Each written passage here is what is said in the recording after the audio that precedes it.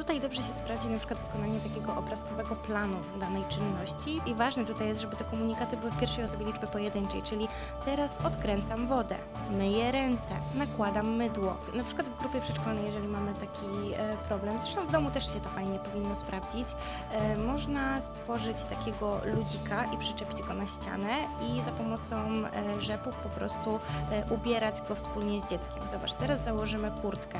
Dlatego najpierw w ogóle w domu to warto zacząć od e, takiego treningu na przykład przed wyjściem na plac zabaw. Nie na umówioną wizytę do lekarza, gdzie już musimy być na konkretną godzinę, tylko zacząć od takich sytuacji, Gdzie się gdzie nie my, spieszymy. tak, możemy trochę naciągnąć ten czas. Włącz się w rozmowy o wychowaniu i edukacji. Czekają interesujący goście i ważne tematy. Zapraszam do studia Eduakcji. Piotr Sobolewski. Eduakcja. Przyszłość stworzą dzieci. Witajcie w studiu Eduakcji. Ten odcinek poświęcimy codziennemu funkcjonowaniu dzieci w spektrum autyzmu. Ze mną jest Karolina Zakrzewska oraz Marta Chojka-Pawlina, pedagogzki specjalne, no i oczywiście ekspertki eduakcji. Cześć dziewczyny. Cześć. Y, Porozmawiamy troszeczkę o tym, co nam dorosłym wydaje się być proste, ale nie zawsze jest proste dla dzieci w spektrum autyzmu. O takich codziennych czynnościach, które mogą sprawiać im trudność. Od czego byście zaczęły? Pierwszą taką czynnością, która od razu przychodzi mi do głowy jest mycie rąk. Mhm. E, Dla nas wydaje się to bardzo mechaniczna czynność, nad którą my się tak naprawdę nie zastanawiamy. My wchodzimy do łazienki i po prostu to robimy. E, Dla dziecka w spektrum autyzmu e, wykonanie tych na, dla nas banalnych etapów jeden po drugim może być dużym wyzwaniem. Mhm. Musimy pamiętać, że dzieci ze spektrum autyzmu często przejawiają e, trudności w zakresie dyspraksji. E, to zaburzenie nazywamy dyspraksją, e, które po, to, to polega na tym, że mm, mamy problem z zaplanowaniem ruchu. Mhm. Właściwie z zaplanowaniem aktywności, na, Które przykład, odbywają się po kolei. Kolei. Mhm. na przykład mycie rąk, ale to też są zupełnie proste czynności typu wejście w drzwi, tak? bo to też jest zaplanowanie Mhm. czynności. E, albo na przykład nalewanie wody do kubka. To wszystko wymaga od nas e, pewnych zachowań w określonej kolejności. Tak? I, No dobrze, ale mm, przecież mamy troszeczkę takie y, et- etapy jakby wchodzenia do Mhm. samodzielnego mycia rąk, tak? Najpierw my myjemy dziecku ręce, potem ono zaczyna samo myć, tam mm, mniej bądź bardziej efektywnie. Mhm. E, No i ono też obserwuje, jak my myjemy ręce. E, Czy to nie wystarczy? Wiesz co, e, to wystarcza dzieciom normatywnym. Mhm. Natomiast właśnie dzieci, które mają zaburzoną praksję, będą miały, trudnością z, będą miały trudność z wszystkimi te, tego typu czynnościami. Które są pewną procedurą. Tak. Jasne, Tak, ale jak możemy temu zaradzić? No tutaj dobrze się sprawdzi na przykład wykonanie takiego obrazkowego planu danej czynności, czyli po prostu e, wypisanie e, i podparcie tego obrazkiem mm, kolejnych etapów, jakie należy zrobić. Przykleić na przykład taki plan nad umywalką, na lustrze i napisać po kolei e, rysunek, że odkręcamy wodę, nabieramy mydło, myjemy ręce, W jaki sposób je myjemy też? Tak, e, Mhm. warto też to wtedy ująć na, na obrazku. E, Dziecko wtedy będzie miało e, konkret, którym będzie mogło się podeprzeć, kiedy wybije się w trakcie wykonywania tej czynności, spojrzy sobie na taki plan i już będzie wiedziało, co zrobić dalej. Mhm. Natomiast w momencie, kiedy zaczynamy, to też dobrze jest jakby z dzieckiem krok po kroku tą instrukcję omawiać, tak? Bo jakby samo powieszenie instrukcji i korzystanie z dziecka to już jest moment, kiedy dziecko jest przyzwyczajone, że ta instrukcja Tak. tam jest i ono się nią podpiera. Natomiast Najpierw w ogóle jeszcze przed wprowadzeniem instrukcji można e, zastosować modelowanie i po prostu e, trzymając ręce dziecka e, wykonywać te ruchy, mówiąc, co my po kolei no. robimy. I który to Teraz jest odkrę- obrazek? E, tak, i który to jest Mhm. obrazek. Na przykład i ważne tutaj jest, żeby te komunikaty były w pierwszej liczbie osoby, e, w pierwszej osobie liczby pojedynczej, czyli teraz odkręcam wodę, myję Mhm. ręce, nakładam mydło. E, dziecko wtedy utożsami sobie te komunikaty ze sobą. E, utożsami je też później z obrazkiem na planie dnia i przejdziemy, będziemy mogli przejść do etapu, gdzie samodzielnie będzie z niego korzystać. Jasne. Mhm. I, I rozumiem, że często y, niechęć mycia rąk przez dzieci w spektrum może być właśnie wynikiem tego, że one są sfrustrowane tym, że nie pamiętają, co ma być tak, po kolei. Nie, nie wiedzą, jak to zrobić po prostu. Mhm. Jak my Roz- też w momencie, kiedy musimy zrobić zadanie bez konkretnej instrukcji, się frustrujemy. W szczególności jeśli, jeśli zapominamy, co ma być po kolei. Dokładnie. Jasne. E, Czy jest szansa na to, że takie dziecko potem wyjdzie z takiego e, obrazkowej instrukcji i samodzielnie już będzie myło rą- e, ręce bez tych obrazków? Tak, oczywiście. Jakby to jest trochę na zasadzie, posłużę się brzydkim przykładem, skręcania szafy. Pierwsze trzy razy musisz skręcić ją z instrukcją, natomiast przy piątym razie już jakby zrozumiesz e, Mhm. Mechanizm. mechanizm, tak? E, a dzieci w spektrum autyzmu są dosyć schematyczne, więc taki plan krok po kroku bardzo im pomoże e, do tego, pomoże im w wykonaniu tej czynności. Taki, taki plan szybko utkwi im w głowie. Tak. Mhm. Co robić, gdy dziecko nie komunikuje swoich potrzeb? Wydaje się być nieobecne i nie podejmuje interakcji z innymi. Jak reagować na niespodziewane wybuchy złości? Jak postępować z dzieckiem, które nie radzi sobie ze swoimi emocjami? Rzuca zabawkami, jest agresywne wobec nauczyciela i innych dzieci. Jak pracować z dzieckiem wykazującym obniżony poziom rozwoju intelektualnego? Co robić, kiedy dziecko nie rozumie poleceń? Jak wspierać dziecko z trudnościami w nauce? Poznaj odpowiedzi w najnowszym programie szkoleń online. Dowiedz się, jak wspierać dzieci ze specjalnymi potrzebami edukacyjnymi w przedszkolu. Specjalne potrzeby edukacyjne tylko na platformie szkoleń online EduAkcja dla nauczycieli wychowania przedszkolnego. Zgłoś swoją placówkę już dziś www.edu-akcja.pl ukośnik SPE. E, Co możemy dalej e, wziąć na stół? Bo od razu mi przychodzi do głowy, że po e, higienie e, jest ubieranie się. Wiesz co, to, są tak, to jest tak naprawdę dokładnie ten sam problem. Tu znowu mamy problem z zaplanowaniem tej czynności. No bo mm, komunikat, y, załóż bluzkę, no ale tak naprawdę co to znaczy? To trzeba wziąć bluzkę, najpierw zakładamy na jeden rękaw, potem zakładamy na drugi rękaw, potem na głowę, potem jeszcze podciąg podciągamy, Ściągamy, ściągamy tak. w dół, wkładamy w spodnie, tak? Jakby to jest e, Masa czynności. masa czynności, z którymi tak naprawdę my już sobie nawet, nawet nie myślimy o tym, że to robimy, tak? Mhm, mhm. I jakie tutaj porady? E, Na przykład w grupie przedszkolnej, jeżeli mamy taki e, problem, zresztą w domu też się to fajnie powinno sprawdzić, e, można stworzyć takiego ludzika i przyczepić go na ścianę i za pomocą rzepów po prostu e, ubierać go wspólnie z dzieckiem. Zobacz, teraz założymy kurtkę i właśnie mówiąc, ubierając tą kurtkę, nazywamy te czynności, które dziecko wykonuje jedna po drugiej. Czyli, Czyli właśnie ubieramy, kur... znaczy nie Albo- ubieramy kurtkę, tylko wkładamy prawą rękę do Tak, I na rękawa. przykład oznaczamy na ludziku, że teraz ta ręka, potem tamta ręka. Mhm, mhm. I to działa?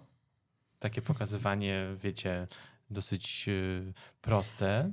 Wiesz, Dzieci co w spektrum działa? autyzmu w ogóle e, lubią e, mieć e, konkret przed sobą, lubią to wsparcie takim obrazkiem. To jest trochę jak z, ze wzrokowcami. Jak ktoś się uczy e, na zasadzie wzrokowej, no to wtedy też łatwiej mu wchodzi do głowy to, czego ma się nauczyć. I dziecko ze spektrum funkcjonuje bardzo podobnie, że takie konkretne instrukcje i obrazki zdecydowanie mu ułatwiają opanowanie takiej czynności. Bo też musimy zwrócić uwagi, uwagę trochę na inny aspekt, że jakby zaburzenia to jedno, ale też to, że rodzice bardzo chcą pomóc swoim dzieciom i się w kółko spieszą, Mhm. to też wpływa na to, że te dzieci są mniej samodzielne, tak? Jasne. Bo tak naprawdę w codziennym pędzie ci rodzice nie mają czasu na to, żeby on przez 15 minut zakładał bluzkę, bo niestety na początku to mniej więcej tyle trwa, tak? Mhm. Tak, dlatego najpierw w ogóle e, w domu to warto zacząć od e, takiego treningu na przykład przed wyjściem na plac zabaw. Nie na umówioną wizytę do lekarza, gdzie Tak. już musimy być na konkretną Mhm. godzinę, tylko zacząć od takich sytuacji, Gdzie się gdzie nie my spieszymy. tak, możemy trochę naciągnąć ten czas. Mhm. I później dziecko im sprawniej będzie to robiło, tym mniej czasu będziemy potrzebowali na wyszykowanie się na daną godzinę. Czyli rozumiem, że nie przyspieszanie tych procesów nauczenia się na przykład ubierania, Niewyręczanie dziecka. nie wyręczanie dziecka, i to chyba dotyczy wszystkich dzieci, nie Mhm, tylko spektrum, prawda. prawda? To powoduje y, przyspieszenie jego samodzielności tak naprawdę. Dokładnie. Tak naprawdę tak. Mhm. E, A co ze sprzątaniem po sobie zabawek? To jest w ogóle trudny temat, bo nie, nie znam dziecka, które by po sobie sprzątało tak od razu i ochoczo. Natomiast faktycznie dzieci ze spektrum tutaj mają e, albo są takie, które nic nie rozrzucają i wszystko jest uporządkowane, albo są takie, które robią totalny bałagan i nie są w stanie potem tego, e, tego uporządkować. No i tu właśnie też to planowanie, bo tak naprawdę od czego zacząć, Mhm. nie? Bo on słyszy hasło sprzątamy zabawki, no ale co dalej, tak? No właśnie, jakby Co mam co, zrobić? co ja mam zrobić tak dokładnie, nie? To my wiemy o co nam chodzi, a dziecko tego nie wie. E, W tym przypadku też się sprawdzi e, bardzo dobrze modelowanie, podobnie jak w przypadku mycia rąk, czyli po Mhm. prostu podchodzenie do dziecka, łapanie go za ręce i manipulowanie jego rękoma, e, dodatkowo nazywając czynność, którą robi, czyli na przykład biorę samochodzik i wrzucam go do pudełka. Ale czy to też ma być taki obrazek, który wisi jak, yy, i obrazuje, jak te zabawki powinny być yy, ułożone? Wiesz co, nie, tutaj jakby już możemy działać na konkretach tak naprawdę, ponieważ w przedszkolu zabawki są zazwyczaj uporządkowane, mają swoje stałe miejsca, często są w pudełkach. Oznaczonych obrazkami. Mhm. E, I po prostu stawiamy przed dzieckiem pudełko i mówimy, że teraz wkładamy samochodziki do tego pudełka. Tak, taki komunikat też będzie dla dziecka bardziej czytelny niż hasło sprzątamy zabawki. No. Lepiej mu dać konkretną instrukcję. Włóż te autka do tego pudełka. To już pójdzie znacznie łatwiej. Mhm. Czy mamy coś jeszcze? Jedną rzecz, która może sprawiać dzieco, dzie, dzieciom w spektrum autyzmu trudności. Wiesz co, myślę, że takim dobrym przykładem to jest e, dosyć krótka koncentracja uwagi. Tak? W Mhm. przedszkolu dzieci coraz częściej mają coraz więcej prac, prac stolikowych, jakieś rysowanie, jakieś karty pracy już się pojawiają. E, Dzieci ze spektrum autyzmu ten czas koncentracji mają bardzo krótki. To znaczy? Wiesz co, tak naprawdę dwie minuty, trzy, Mhm. jeśli dziecko jest w stanie usiedzieć e, i skoncentrować się na tym konkretnym zadaniu, to już jest, jest dobrze. Co z tym zrobić? No bo wiadomo, że najlepsze dla dziecięcego rozwoju jest ruch. Oczywiście. No ale nie zawsze mamy to zaplanowane. Niektóre czynności wymagają, nawet jeśli średnio patrzymy na karty pracy, no to dajmy na to, że dziecko y, akurat teraz uczestni- uczestniczy w zajęciach, nie wiem, rysujemy coś, Mhm. malujemy farbkami. I, E, Jasne, tutaj najlepiej sprawdzi się taka typowa przerwa, żeby po prostu wstać od stolika i na przykład zrobić pięć podskoków, tak? Mhm. Zrób pięć podskoków i wracamy do zadania. Jeżeli nie mamy na to przestrzeni, tak? Albo boimy się, że e, taki komunikat rozwali nam całą grupę i nagle cała grupa będzie chciała skakać. tak, no to Chociaż to też prawdopodobne. jest, Mhm. ale to też jest dobre rozwiązanie, że okej, teraz wszyscy sobie robimy taką Coś krótką nie przerwę. dzieciom w Ale przedszkolu. też chyba tak jest tak, że nie wszystkie dzieci będą chciały, jeśli są już skoncentrowane na malowaniu, akurat skakać, prawda? To też prawda, Mhm. więc w momencie, kiedy nie mamy takiej możliwości, e, warto na przykład e, posłużyć się timerem i umówić się, że zobacz, teraz dwie minuty robisz zadanie, potem ustawiamy na minutę i będziesz miał przerwę. I podczas tej przerwy dziecko może bawić się na przykład swoim gniotkiem, ulubioną zabawką. Po minucie, jak zadzwoni timer, wracamy znowu na dwie minuty do pracy i robić po prostu częstsze i krótsze e, Z większą ważnością na tak, tego jednego... większe przerwy. No na pewno nie, nie używać komunikatów w stylu teraz wszyscy rys- rysują, więc ty siedzisz teraz i rysujesz i już nie wymyślaj, tak? No tak, no bo co to No. może spowodować, jeśli takie coś y, zastosujemy? Armagedon. Mhm.